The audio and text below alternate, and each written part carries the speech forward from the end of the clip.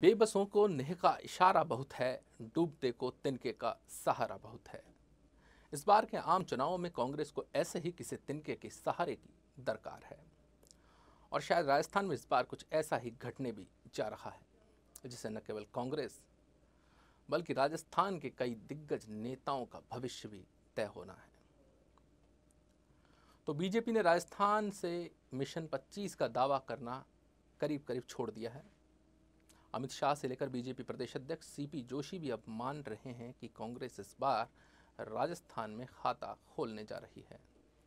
BJP नेताओं के बयानों की माने तो करीब आधा दर्जन सीटों पर कांग्रेस का पल्ला इस बार भारी नज़र आ रहा है। सीपी जोशी का कहना है कि बीजेपी 25 में से 20 से 22 सीटें जीत रही हैं और ज़्यादातर सीटों पर वे कम से कम एक लाख के मार्जिन का दावा कर रहे हैं। जबकि पिछली बार 16 सीटों पर बीजेपी ने दो लाख से ज़्यादा मार्जिन से जीत दर्ज की थी। तो कहीं ना कहीं कम वोटिंग ने बीजेपी नेताओं में एक परसेप्शन तैयार कर दिया है कि कांग्रेस ने इस बार फाइट पर अपनी पकड़ बना ली है। उधर फलौदी सट्टा बाज़ार में भी कांग्रेस के नाम की आंधी सी आ गई है।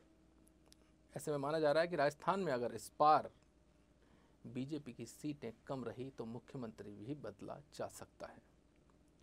चर्चाएँ तो यह भी है कि वसुंधरा राजे ने अपने स्टाइल में शीर्ष नेतृत्व से सीएम नहीं बनाने की नाराज़गी को जता दिया है। राजे ने लोकसभा चुनाव में खुद को झालावाड़ बारह तक ही सीमित कर लिया।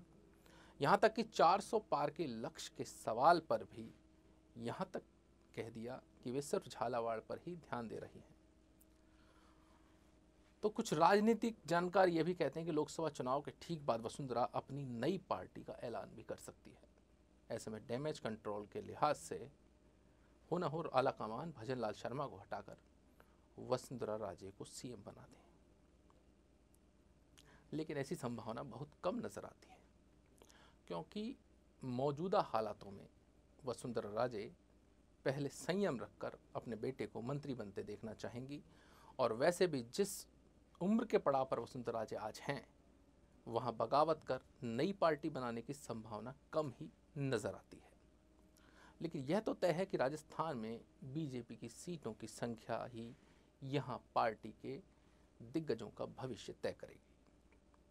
अंदर खाने की खबरें रही हैं कि प्रदेश नेतृत्व ने अच्छा परफॉर्म करने वाले एमएलए मंत्रियों को पार्टी में प्रमोशन के दावे किए हैं। खैर, वसुंधरा, नहीं तो किसी और भी चेहरे को नया सीएम चुना जा सकता है, लेकिन अगर बीजेपी का परफॉर्म राजस्थान में खराब रहा तो सीएम भजन लाल शर्मा पर गाज गिरना तय माना जा रहा है। भजन लाल शर्मा के साथ ही कई मंत्रियों पर भी गाज गिर सकती है। दौसा लोकसभा सीट पर कांग्रेस जीत का दावा कर रही है और इस सीट की ज़िम्मेदारी डॉक्टर किरोड़ लाल मीणा के कांधे पर है बीजेपी की तरफ़ से। लेकिन वे भीड़ नहीं जुटा पाने, फ़ील्ड में अच्छा परफॉर्म नहीं करने से अपने कार्यकर्ताओं से लगातार नाराज़ रहे हैं। उन्होंने यह भी कहा कि अगर कन्हैया लाल मीणा हारे तो वे मंत्री पद छोड़ देंगे। साथ ही उन्होंने अपने कार्यकर्ताओं और स्थानीय नेताओं पर अपनी नाराज़गी ज़ाहिर करते हुए यहाँ तक कहा कि सचिन पायलट को अपने समाज के, गुर्जर समाज के लोगों के बीच में जाकर वोट नहीं मांगने पड़ रहे, लेकिन वे भीड़ तक नहीं जुटा पा रहे हैं। मतलब खुद किरोड़ी। तो बीजेपी के साथ ही कांग्रेस के दिग्गजों के भविष्य का फैसला भी यह चुनाव तय करने वाला है। विधानसभा चुनाव, कांग्रेस इस बार हार गई थी। लेकिन दो बार के लोकसभा चुनाव में लगातार सूखे के बाद अगर कांग्रेस आधा दर्जन सीटों पर भी जीत दर्ज कर पाती है, या चार से पाँच सीटें भी ले पाती है, या ज़्यादातर सीटों पर अच्छी फाइट करती है तो भी सचिन पायलट का अहदा शत प्रतिशत पार्टी में पढ़ेगा उसकी वजह यह है कि जिन सीटों पर कांग्रेस इन चुनावों में जीत का दावा कर रही है या मज़बूत स्थिति में नज़र आ रही है, ज़्यादातर सीटों पर पायलट के करीबी कैंडिडेट्स हैं। चार से पाँच सीटों पर पायलट के करीबी चुनाव जीत सकते हैं।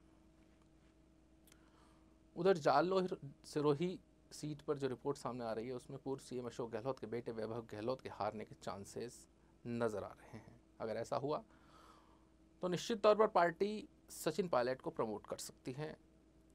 उन्होंने कोई बड़ी ज़िम्मेदारी, बड़ा पद, उन्हें कोई बड़ी ज़िम्मेदारी, कोई बड़ा पद दे सकती है। संभवतः प्रदेश अध्यक्ष बना सकती है। लेकिन ऐसा भी नहीं कहा जा सकता गहलोत को बिल्कुल पार्टी दरकिनार कर दे।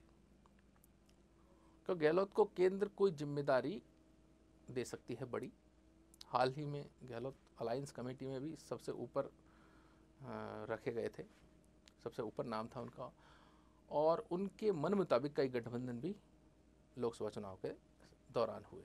अभी गहलोत को अमेठी जैसी महत्वपूर्ण सीट की ज़िम्मेदारी भी सौंपी गई है। अगर अमेठी से स्मृति ईरानी इस बार हार जाती है तो गहलोत का कद भी बढ़ जाएगा। उधर पायलट करीबियों में टोंक से हरीश मीणा, दौसा से मुरारलाल मीणा, जयपुर ग्रामीण से अनिल चौपड़ा का की जीत बिल्कुल तय मानी जा रही है और ये वे सीटें हैं जहाँ कांग्रेस का पलड़ा शुरू से ही भारी नज़र आ रहा था।